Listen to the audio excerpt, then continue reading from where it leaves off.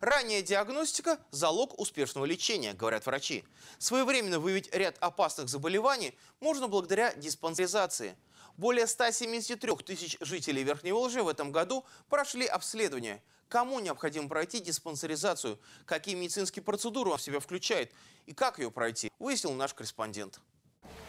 Сахарный диабет, хронические болезни легких, начальные стадии онкологии и многие другие заболевания можно своевременно выявить и успешно вылечить благодаря диспансеризации. Она показана гражданам раз в три года от 18 до 39 лет и раз в год после 40. Как говорят врачи, большинство пациентов, проходящих диспансеризацию, старше 50. Проходит ежегодное исследование и тверичанка Элла Салашенко. Переболела ковидом два раза. Первый раз тяжело перенесла, лежала в больнице второй уже полегче. Есть некоторые последствия. Таким пациентам проверить здоровье просто необходимо, причем независимо от возраста, говорят врачи. В рамках диспансеризации предусмотрен ряд обследований и лабораторных исследований осмотр врачом, анкетирование, антропометрия, электрокардиограмма, флюорография, клинический анализ крови, биохимический анализ крови.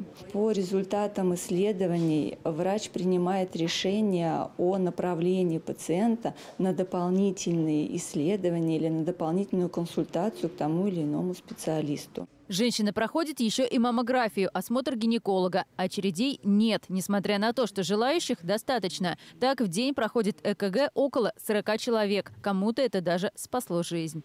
ЭКГ покажет работу сердца, пульс, ритм, какие-то патологии. Благодаря диспансеризации у нас был выявлен обширный трансмуральный инфаркт мужчине. Он был срочно госпитализирован в четвертую больницу. Диспансеризация делится на два этапа. Первый можно пройти всего за один день. Занять это может всего несколько часов. Второй – чуть позже. По результатам лабораторных исследований э, мы направляем людей на второй этап диспансеризации. Это и УЗИ вен нижних конечностей, может быть, эхокардиография кому-то нужна.